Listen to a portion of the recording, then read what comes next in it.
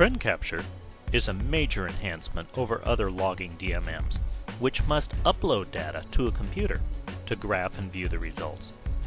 Unlike these other DMMs, the Fluke 280 series digital multimeter has the ability to graphically review information on the meter immediately after the recording session is completed.